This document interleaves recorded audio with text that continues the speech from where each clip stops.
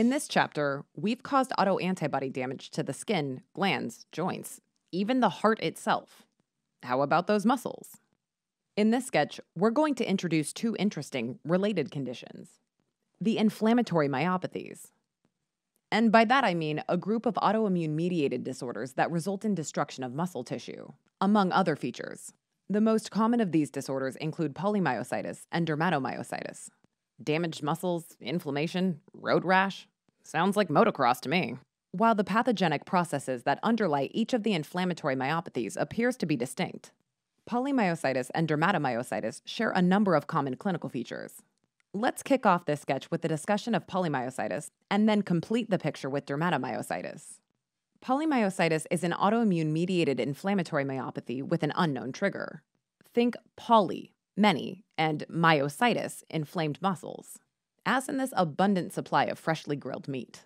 As with most other autoimmune diseases, the incidence is higher in women, with a ratio of 2 to 1.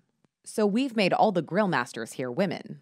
Also, unlike many of the other autoimmune diseases we've talked about, neither environmental factors nor infectious agents have known roles in polymyositis or the inflammatory myopathies as a whole. So mysterious. What we do know about polymyositis is it's an inappropriate, though what autoimmune disease isn't inappropriate, cell mediated immune response against myocytes. The hypothesized pathogenesis of polymyositis begins with the muscle cell. The first step of the mechanism may involve increased expression of major histocompatibility complex class 1 antigens on the membrane of myocytes, also called the sarcolemma. For MHC, think mesquite hickory chicken. The receptors collecting on the sarcolemma are like the little MHC flags dotting the surface of the meat samples. Remember, this is MHC1, so one sample per person.